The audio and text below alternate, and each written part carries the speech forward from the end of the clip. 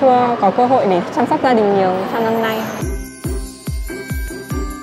Thì năm tới 2024 chắc là mình sẽ cố gắng để hoàn thành nốt những cái mục tiêu đã đặt ra trong năm 2023 và cố gắng chăm sóc gia đình nhiều hơn. À, em thì chắc là vẫn sẽ cố gắng học hành nhiều hơn thôi ạ.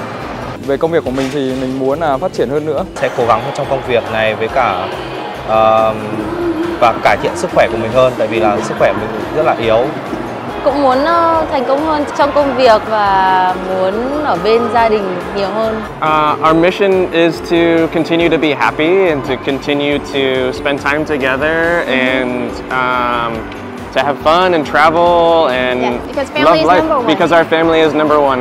Yeah. yeah. Đối với bác, bác mong muốn là bình an và sức khỏe. Muốn đi uh, du lịch để trải nghiệm. Về mục tiêu thì mình vẫn sẽ đặt công việc lên hàng đầu tiên. Và ngoài ra nếu mà có được nhiều cái mục tiêu nữa thì có thể là phát triển ở cái mảng uh, ví dụ như là tình duyên chẳng hạn.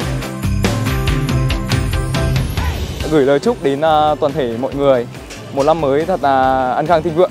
Chúc tất cả mọi người có một năm mới và, và kỳ Giáng sinh, và kỳ Giáng sinh vui thật vẻ. là vui vẻ và hạnh phúc.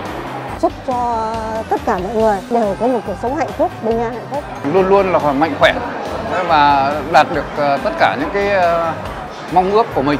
Và sang năm mới chúc mọi người có thể là đạt được những cái gì mà mình chưa làm được ở trong năm nay và cố gắng trong năm sau sẽ có thể là hoàn thiện tốt nhất. Và chúc mọi người có một năm mới mạnh khỏe. À, mong là tất cả mọi người kết thúc một năm và đến một năm mới sẽ luôn luôn luôn được hạnh phúc, luôn luôn vui vẻ, luôn tìm được niềm vui trong mọi việc mà mình làm và mong là mọi người sẽ có thể đạt được mọi điều mọi người mong muốn. So for the new year, we hope that everybody will spend a lot of time with their family yeah. and um, eat a lot of good food.